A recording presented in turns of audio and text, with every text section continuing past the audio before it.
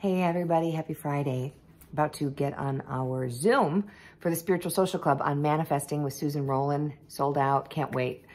And so as I was prepping my information, I'm like, there's so many layers needed. It is so cold here in the Midwest. It's like two degrees right now. Luna was not enjoying the walk. Say hi, Luna. Doing much better. Thank you for all of your prayers. Um, she's just going to sit here and watch me, apparently. I was thinking about the manifesting topic we have tonight for the Zoom.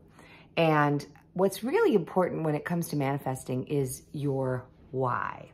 So what is your motivation for your manifesting? Is it for your ego? Is it to get back at somebody? Is it uh, like a vengeance based? Uh, is it because you just love something? Or is it because you're lonely and you want a partnership or you want to get back at somebody or uh, you want to prove to your parents that you're worthy or whatever. You have to really get to the core of your why.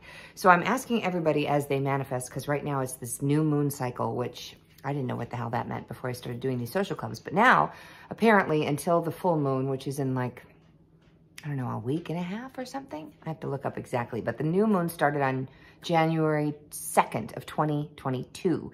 And it's a two-week cycle of where you're bringing in things as you think about what you want to manifest. So think about your why. Why are you doing it? What is motivating you?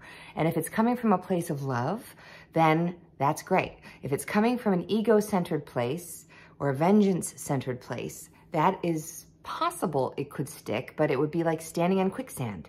You'd be on top for a little bit and then slowly sink down. The foundation isn't as pure. So I challenge you all to think about your why. Why are you doing things?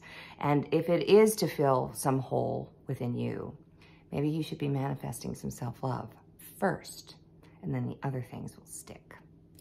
So go to jenweigel.com and uh, sign up for one of our social clubs. We do these every week. I took a couple weeks off because of the holidays, but we're back and we are really, really busy. So come and join us on Zoom. They're intimate. Everybody gets time with the expert and with me, and we get to hang out on a Friday night. So hopefully I'll see you very soon on any weeknight. They're Saturday afternoons, they're Wednesday nights.